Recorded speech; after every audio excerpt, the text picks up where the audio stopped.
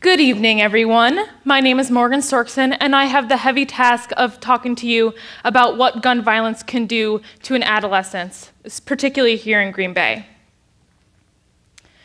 So, first, um, gun violence has become a national conversation. We first see this in the media. It's become a widespread phenomenon in America, highlighted in news stories to the point of glorification. Mass shootings are becoming everyday happenings, particularly school shootings. In 2019 alone, there have been over 40 mass shootings so far.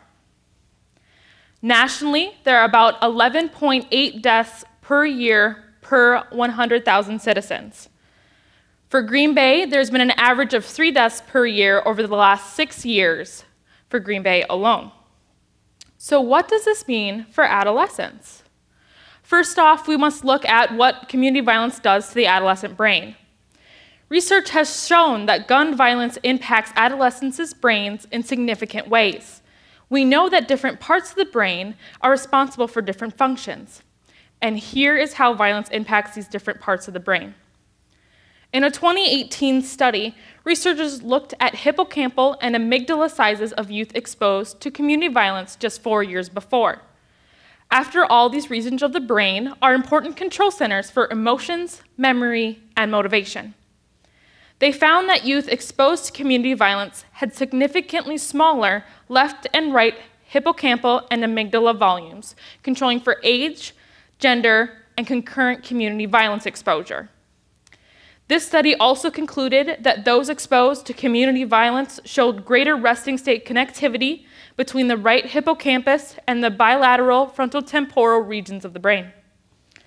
This means that adolescents exposed to community violence will likely struggle with their emotions as well as their performance in school because of memory and other learning issues. These brain changes are likely to account for the large emotional impacts community violence has. There have been years of research looking into how violence can impact youth and adolescents. For gun violence in particular, this means that there have been findings that those exposed to gun violence in their youth more likely to be depressed, show symptoms of complicated grief and PTSD, along with externalizing problems.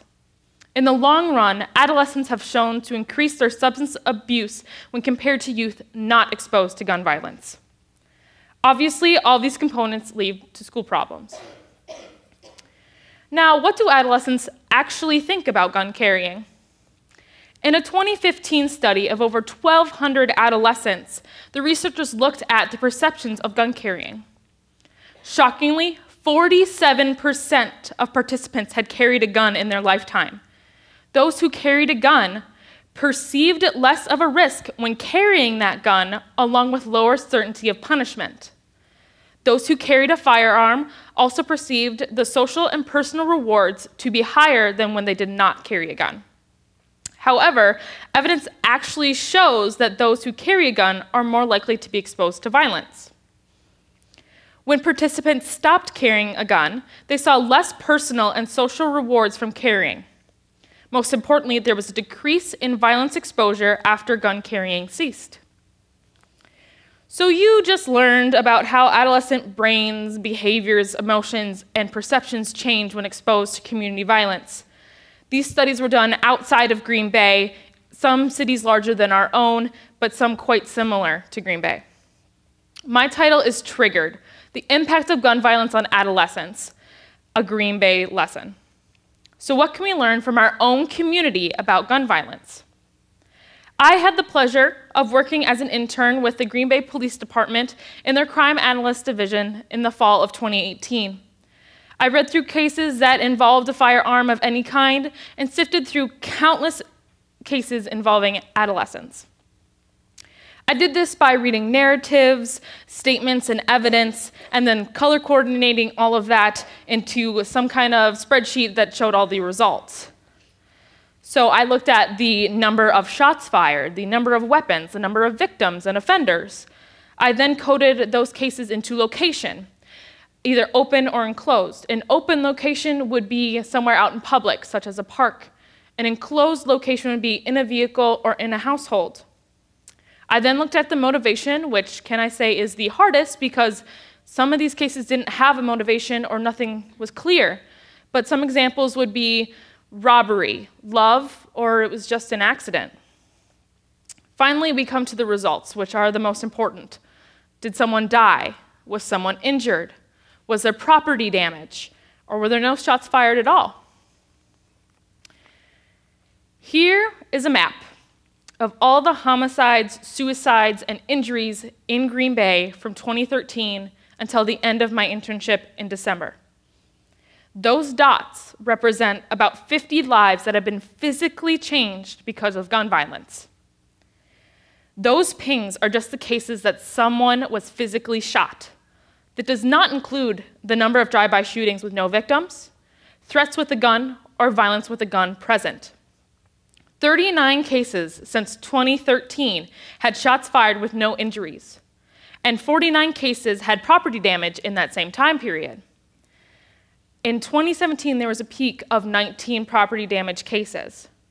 Now, this is just the number of cases, not the number of shots actually fired. Sadly, as I read through more than 500 cases that involved guns in the past six years in Green Bay alone, these cases were not isolated to adults. Children not even old enough to talk were present in the same room as a gun. Youth barely old enough to be considered teens played with BB guns. What happens when those guns become real guns? Right now, there are teens in our community who possess guns, and boy, do they use them. So, what can we do?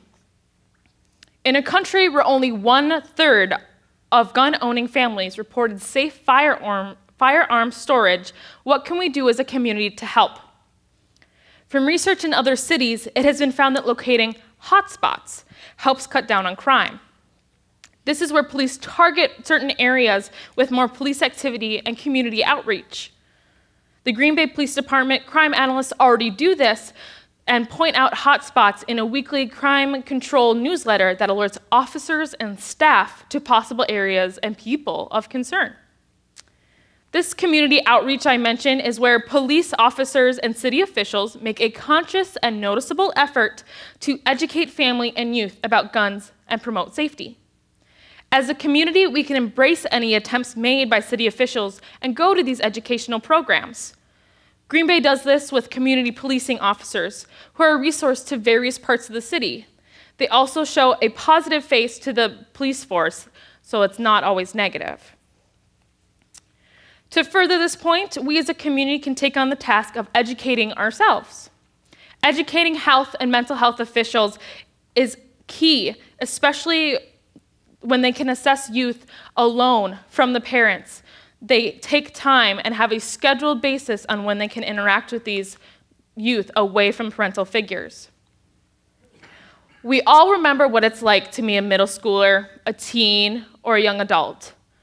Some of you, that's a more recent memory than others, but imagine the impacts of gun violence and what that would have on your own childhood. Imagine how the exposure of such violence would have made you feel and how it would have impacted your education and interaction with your family. Fathom how your brain would have altered, literally changed, because of such violence. Sadly, many adolescents don't have to imagine. Now, I'm not trying to leave you all dreary on this lovely springy Wednesday night, but please remember to support the youth in our community. The largest thing is support. Support, support, support. Support community officials, support officers, support parents, support teachers, but most importantly, support struggling teens. You do not have to be anyone special to hold out a welcoming hand to a struggling youth. Thank you.